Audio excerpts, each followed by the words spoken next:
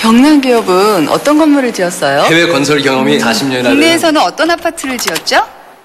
경남 아파트, 국내에서도 해외에서도 오케이. 경남 아너스빌. 당신의 자부심이 되도록 Pride Building. 경남 아너스빌.